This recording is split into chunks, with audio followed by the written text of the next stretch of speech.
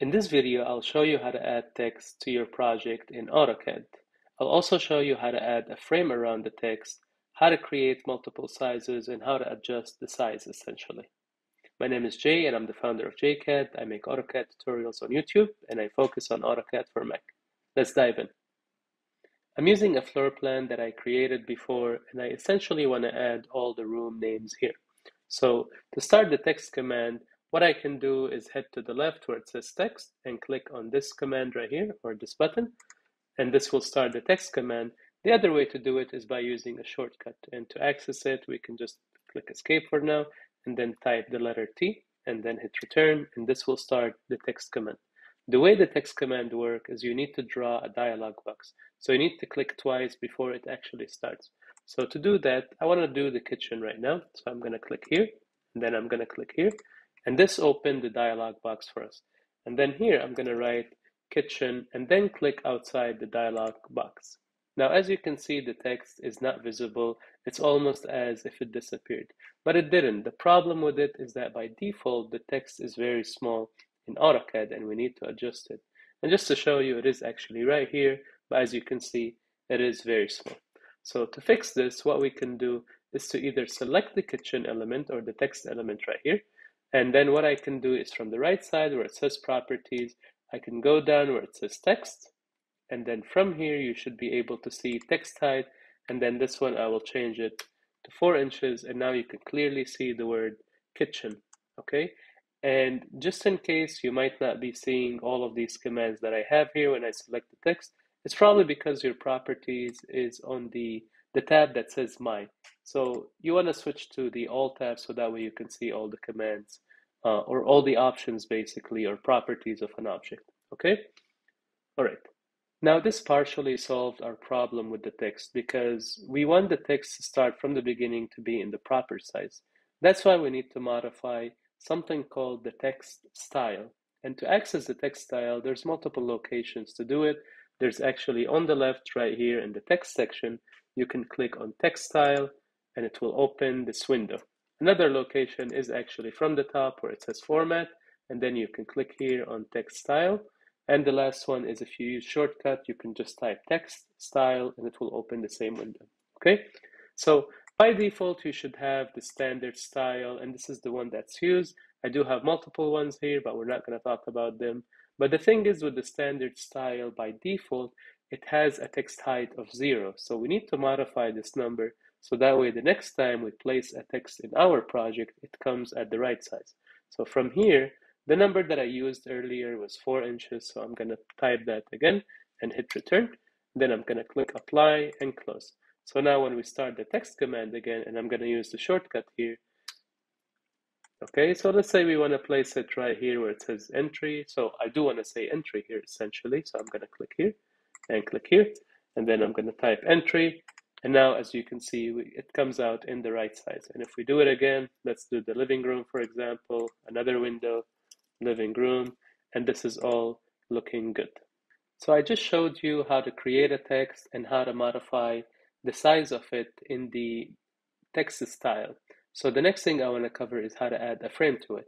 To do that is pretty simple. All you need to do is to select a text element and then from the properties, you want to go down in the list of the properties and then right here you should see or find one that says text frame. You're going to select that and you can see we're going to get a frame for our text. Now, in case you're not seeing it, like I mentioned earlier, you just want to switch the tab for your properties from the one that says my to the one that says all, and you should be good to go. Okay, now to do this for all of them, we can actually select multiple ones, and then from here, I'm going to go down and do text frame. The next thing I want to show you is how to create a different size for the text. So what are we going to do essentially is to create another text style with a different text type so that way we can have multiple sizes on our drawing. To do that, I'm going to go back to the text style. I'm going to go here.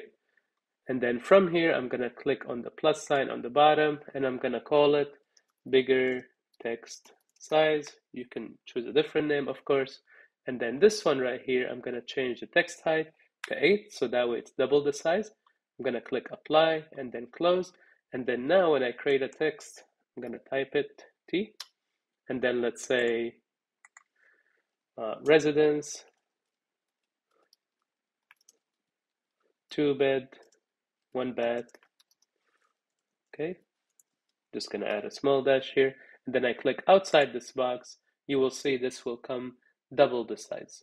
Now you might be wondering, how does AutoCAD knows which style to currently use? So there is actually a setting where you set up what is the current style to be used.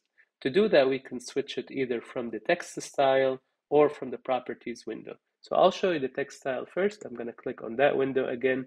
And then from here, I can select the text style that I want. And then you right click and you say set current. So this is one way to do it.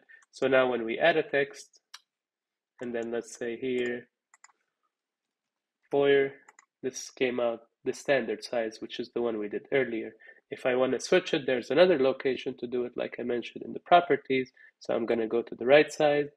And right here, as you can see, it says text style standard. I'll switch to this one.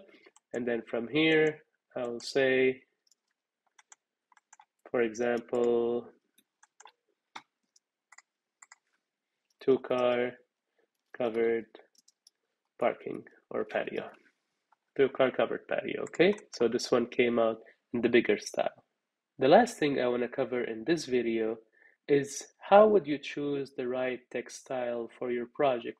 So it all comes down to the scale of the drawing you are doing. So for floor plans, usually I use about four inches or six inches for the text height. Now, if you're doing a smaller drawing, if you're focusing on a room, for example, you might use bigger text size so that way it covers more space. Okay, so to save time, I actually created a bunch of styles so that way you know which scale to use with the right text height and I'll give you the file to download for free. And I'll show you how to place it in your drawing so that way you load all the styles. It's essentially this file and I'm gonna go and select everything in it and I'm gonna do Command C and then I will go back to my drawing and then from here I'm gonna basically place it right here. Okay, so now when I did this and I copied and I pasted this into the drawing, now I'm able to use the different text styles. You will see them loaded from here. You can see them right here. It says JC001 all the way to 192. And then the way I organized it is I wrote for you which scale to use and what's the style name essentially. So if you are working, if you're trying to do a drawing for a floor plan, usually the common scale is the quarter inch, so for that one, you would use the 48 text style. So and to just show you this, I'm gonna finish these tags right here or the window, uh, or I'm sorry, the, the room names. I'm gonna switch this to JC48. Okay, and then I'm gonna type T. And then here I'm gonna do bedroom one. Here we go. And here's bedroom two. I'm just going to copy this one. I use the copy command like this and so on. If this video helped you today, please like and subscribe. And if not, please let me know in the comments as I would really love to know how I can do the next tutorial better. Thank you for watching.